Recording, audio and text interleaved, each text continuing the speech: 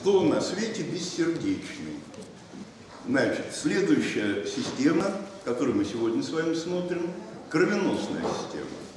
И сразу у меня вопрос к аудитории. А у всех ли многоклеточных животных есть кровеносные системы? Нет. Хорошо. Приведите пример, у кого нет. Прошу. Губки, вы абсолютно правы, но дело в том, что губки как раз не настоящие многоклеточные. Дело в том, что настоящее многоклеточное по латыни называются эометазоа, да? и у них у всех, абсолютно у всех, должны быть четыре типа ткани, а у губок их нет. У губок совершенно другие типы ткани. Поэтому губок и трихоплексов объединяют в группу паразоа, якобы многоклеточная. Понятно? Но нет у губ мышечной ткани, хоть делитесь. И нервной ткани нет. Да. Кишечно-полостные. Кишечно-полостные, вот это здорово. Совершенно верно. А поднимайте руки, кто понимает, кто такие кишечно-полостные. А остальные не понимают? Мгм. Хорошо, ну, например, кишечно-полостные.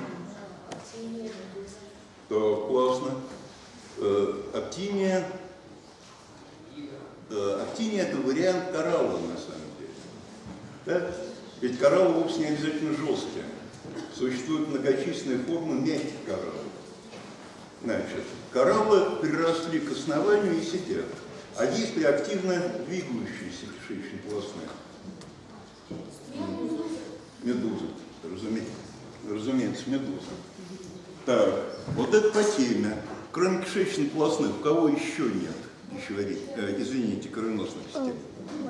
Насекомые. У плоских червей вы абсолютно правы. Сначала немножко по кишечно-полостным. Значит, ну вот это один из вариантов мягких кораллов. На самом деле под э, при движениях воды ветви эти вполне себе шевелятся. Они мягкие. Ну вот одна из циркумедуз. А это результаты встречи человека с кубомедузой. Кубомедуза самая неприятная из э, этой группы. Ожоги страшные, главное, не проходят всю жизнь. Ну, это вам, я думаю, знакомые по поиску, э, поисках Немо рыба-клоун в актине сидящая. Это не кишечно-полостной, это португальский кораблик. А вот э, дискоактиния, тоже актиния. Но, как видите, щупальца у них не раздельные, а слились в общий диск. Кстати, можно ли кого-нибудь ловить такими щупальцами? Да не, не выйдет. Вопрос, как пытаются? А очень многие кишечно-полостные симбионты. В каждой клетке, просто внутри каждой клетки, обитают одноклеточные водоросли, которые ведут фотосинтез. И делятся продуктами фотосинтеза с клетками животного. Какую выгоду получает животное, это очевидно. Вопрос. А какая польза одноклеточным водорослям от того, что они сидят в животном? Э, Во-первых, защита, а во-вторых, самое главное, что нужно любому живому организму – стабильность окружающей среды. Пока клетка живая, условия в ней будут меняться или нет? Нет. Значит, так что симбионты очень многие среди кишечно-полостных. Но это вот гидромедузки, самое разное. Э, Это сейчас эту группу живых существ вообще выделяют в отдельные стволы развития, самый древний из стволов. Хотя внешне похожи на медуз, это не медуза, это грибневики. Так? Двигаются совершенно иначе, чем медузы. Ну и внутреннее строение, на самом деле, совершенно другое. Очень многие светящиеся, видите? самых разных. Ну, это самый обычный корнирод. У нас и в Азовском, и в Черном море его полным-полно. Во всем Средиземноморском бассейне. Так, ну, на актине. Да, ну, вот эти вот тройки очень красивые. А, Они флуоресцируют разными цветами. Ну, вот это увеличенная фотография веточки коралла. Вот сама веточка красная. А что это за звездочки на ней сидят? Да вот это и есть маленькие полипы, которые построили эту ветку. На самом деле любой коралл, живой коралл, это гигантское скопление, но иногда из миллиона вот таких вот отдельных организмиков, каждый из которых похож на гидру. Так? Значит, коралловые полипы. Просто стенки тел этих организмов строят материал домика. Из этих домиков э, слагаются ветви. Размах такого строительства огромный. Но вот это один из грибневиков. Ну и теперь, после этого, пару слов о плоских червях. Во-первых, поскольку не представляете их, сначала посмотрим. Значит, размер. Размер самый разный. От 5-6 миллиметров до моей ладони. Так, бывает достаточно крупные. Э, название «плоские черви» говорит само за себя. Они действительно больше всего похожи на блин с такими гофрированными краями. Чаще всего водные, хотя есть и наземные. Значит, морские организмы, больше э, морских, чем пресноводных, э, тропические очень яркие, очень красивые. Вот показываю. Все они хищники, не хищных плоских червей нет. Вот это самая обычная белая планария, которая у нас чуть ли не в каждой луже водится. Значит, длина такой могучей белой планарии, ну, миллиметра два-три, может быть, четыре. Без микроскопа видно, но какие детали рассмотреть невозможно. Но вот представили себе немножко внешний вид этих ребят. Ага, а вот теперь смотрим. А если разрезать тело, что оказывается? А устроены они до удивления просто.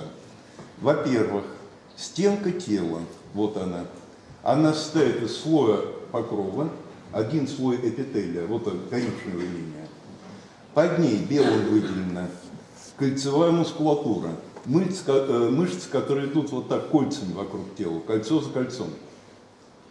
Под ним красненький слой, продольная мускулатура, мышечные клетки, идущие от головы к хвосту. Таким образом получился кожно-мышечный мешок. Внутри этого мешка, внутренняя стенка зелененьким здесь показана.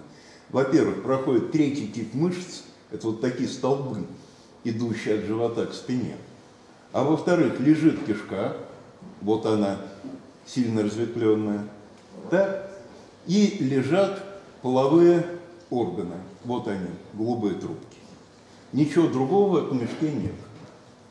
Теперь давайте смотрим. Сквозь стенку мешка проходят вот эти зеленые кольца и проходят красные вот эти. Что это такое? Красным здесь показано нервные стволы. Нервные стволы у червей идут от головы к хвосту, и между ними, вот желтая линия, так, лежат кольцевые связи, ну, чтобы левая сторона знала, что делает правая сторона. А зеленым показаны выделительные каналы. Все, ничего другого в червяке нет. Обратите внимание, вот здесь происходит переваривание пищи. Какие клетки тела могут получить подготовленные биомономеры? Все клетки тела или нет? Нет, а только какие? Переваривание вот здесь, в кишке. Клетки кишки. Вопрос, а как получают питание клетки стенки тела? Какие у кого идеи? Диффузия. Прошу.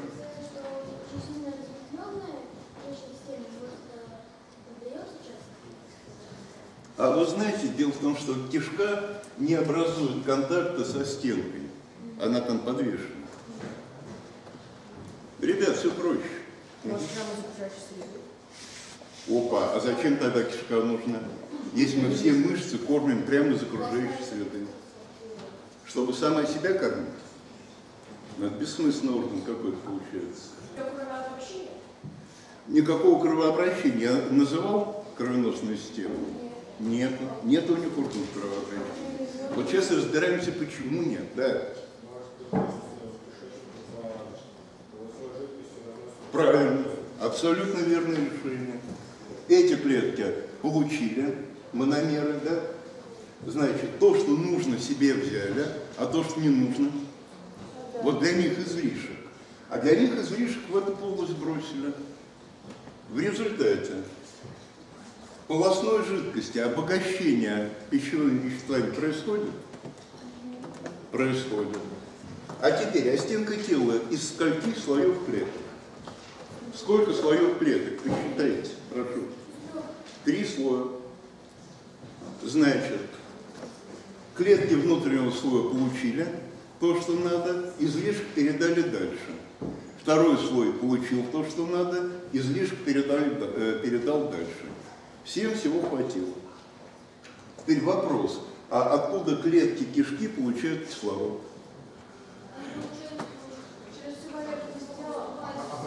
Так где кишка, где поверхность тела? Поверхность тела вот она, а кишка вон она. А ровно такой же путь, как я говорил, только наоборот. Значит, первоначально кислород получен покровными клетками, передали второму слою, второй слой передал третьему, третий растворил здесь. А клетки полостных органов получили из полостного раствора. Вот при такой системе нужна ли какая-нибудь кровеносная э, система или нет? Нет. А кому она становится реально необходима? Скажите, а если бы в стенке тела было не три слоя, а 33 слоя, можно ли было бы передать хоть что-нибудь за счет межклеточных контактов? Дошло ли бы что-нибудь до полости или наоборот из полости до поверхности тела? Ничего бы не дошло. Итак, развитие кровеносных систем – это следствие усложнения строения стенки тела и усложнения строения внутренних органов. Развиваются кровеносные системы у живых существ, у которых в стенке тела образуется много слоев ткани. В стенках органов много слоев ткани. Вот здесь уже за счет прямого контакта ничего не передашь. Хорошо. Ну и какие же задачки будет иметь кровеносная система? Группа задач. Приносить кислород, питательные вещества в разные органы сердца. Так, классно. Верно назвали первую группу, самую очевидную, первую группу задач. Называться это будет транспортная функция. А вот теперь давайте конкретнее, что, собственно, переносит кровеносная система. Допустим, у нас с вами, у людей. Было названо питательные вещества и кислород. Согласен. А еще что? Прошу. Гормоны, химические сигналы. Исключительно важная работа. Отлично, да. Отходы. Каждая клетка сбрасывает отходы в межтканевую среду. Так почему мы не умираем от самоотравления? Ведь каждая клетка сбрасывает из себя, выбрасывает совершенно жуткую помойку, смертельную для нас. Почему не умираем? Все доставляется именно так, а кто доставлять-то будет э, к органам выделения? С потоком крови, разумеется. Значит, органы выделения очищают кровь, отделяя от жидкости плазмы крови компоненты, которые необходимо выбросить. И через мочевыводящие пути сбрасываем на улицу. Хорошо. Значит, смотрим, что назвали. А, ну, на самом деле все основные группы названы. Итак, первая группа – питательные вещества, кровь переносит. Вторая группа – грамотнее всего говорить про газовый транспорт. Потому что не только СО2 переносит, э, извините, не только кислород переносит кровь, но что еще? Углекислый газ. Две стороны одной медали. Да? Отходы и химические сигналы, гормоны. Вот это у нас все будет транспортная функция. Еще зачем нам с вами? Багрит. Транспорт тепла, совершенно верно. Температура нашего тела такая же, как окружающей среды, выше или ниже? Выше. А где у нас печка? Что нас греет? Кровь. То есть в крови сидят маленькие зелененькие человечки и ждут костры. или в крови сидит биополе, и Нет, мы сжигаем сахар. Ага, сахар сжигается? Идея хорошая, интересная. Где сахар-то жечь будем? Прям в крови? Место какое-то странноватое. Каждой клетке. Нет. Нет, у кишечника совершенно другие задачи. Э, На самом деле пальцем в небо попали. Печень и почки действительно активно участвуют в нагревании крови. Из внутренних органов активнее всего. Но это далеко не главное э, печки, во-первых. А во-вторых, здесь главное разобраться, а почему же нагревание происходит. Поднимайте руки, у кого в школе физика уже есть. Так, ну, ребят, тогда я не понимаю вашей реакции. Опускайте руки. Ребят, если за счет трения, то что бы должно быть со стенками кровеносных сосудов? Если вы трете этаж, то нагревается. Ребят, что такое КПД? Слышали когда Классно.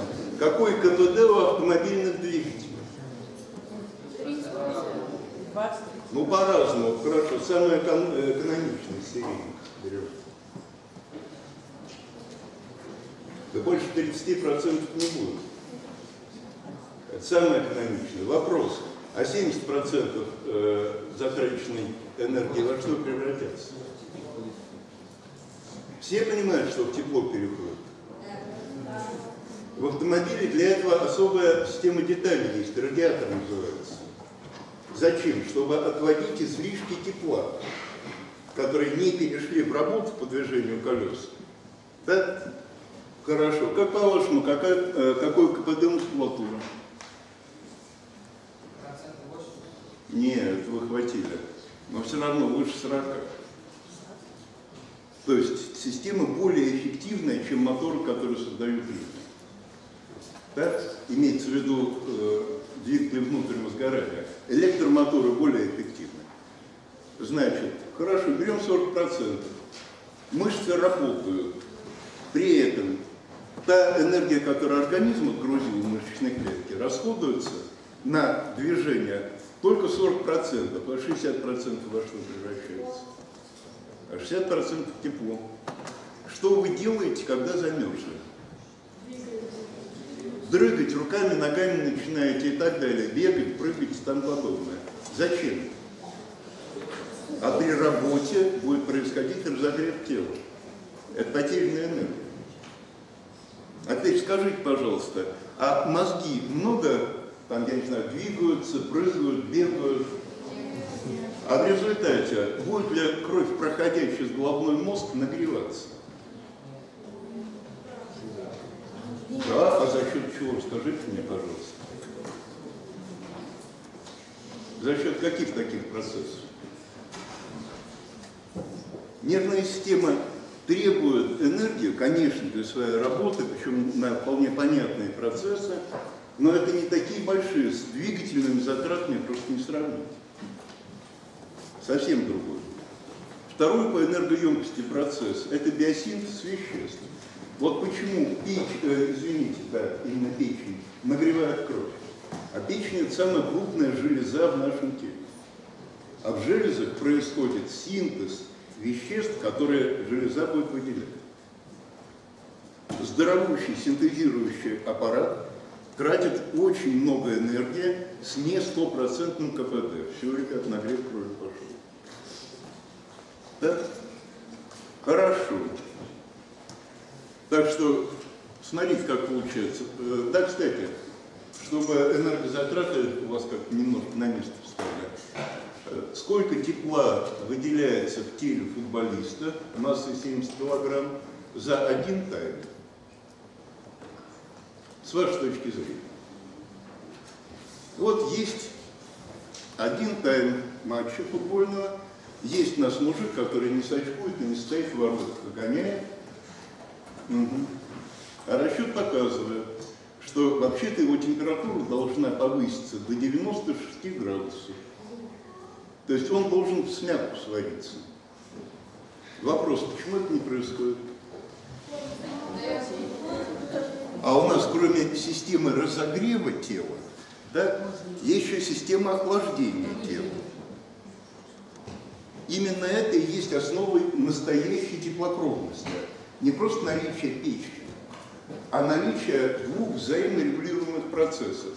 Если нужно разогрев, если нужно охлаждение. Это позволяет очень точно балансировать температуры для внутренних органов. Ну скажите, по-настоящему, какая температура вашего тела?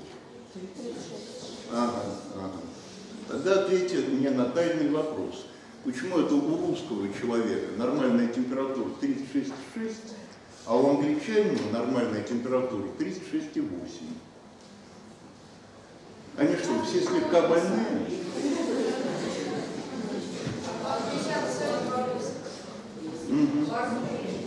Да в том-то и дело. Разная традиция измерения температуры. Если вы померите температуру кожи у вас вот здесь, вот здесь или на затылке, вы никогда не получите 36,6. 36,6 это температура подмышечной ямки. Да? Температура за щекой внутри ротовой полости 36,8. При этом температура покрова может меняться очень сильно. Хорошо, представьте себе, вы пришли с улицы зимой, на улице минус 20, вы гуляли без перчаток, да? И придя с улицы, маме вот так на шею кладете руки. Что делает мама? А как же так? У вас же 36,6. Мгм. Ясно, что поверхность тела может очень сильно менять температуру. Строго постоянно температура внутренних органов. 37,2. У англичан, русских, арабов, чукчей, у всех на свете. Значит, колебания здесь возможны, связаны с индивидуальными особенностями обмена. Хорошо. Итак, транспорт тепла, перераспределение тепла по организму. Очень важная задачка кровеносных систем. Итак, транспорт веществ, транспорт тепла. А теперь не транспортные задачи. Есть какие-нибудь? У кровеносных систем. Громче. Разумеется, защита. Значит, во-первых, основная система защиты любого многоклеточного, которая называется иммунитет. Ну, про иммунитет мы сегодня практически говорить не будем. Тема важнейшая и очень сложная, если говорить серьезно. На иммунитет у нас сегодня времени не хватит. Но учтите, пожалуйста, что иммунитет – это не защита от всего на свете. Если вы идете по улице и на вас с 12 этажа падает кирпич, то иммунитет вас от этого не защитит. Реально, иммунитет – это защита против чего? Вот, ребят, против вирусов бактерий это в 25 очередь. Это на самом деле следствие основной задачи иммунитета. Основная задача другая. Прошу. А почему во время болезни поднимается температура? Э, Ребята, это уже особенности иммунного ответа. Я сказал, что про иммунитет мы сегодня говорить не будем, у нас тема другая. Иммунная система реагирует на чужеродные вещества. И на вирусы и бактерии она будет реагировать по одной простой причине, что в мембранах их клеток другие белки, чем э, в наших клетках. Поменяя белки в мембране бактерии или в капсуле вируса, иммунитет просто не увидит, что это бактерия. Иммунная система реагирует на вещества. А уж в силу того, что она это умеет делать, и на чужеродные организмы тоже. Хорошо, итак, главная задача э, кровеноски сделали.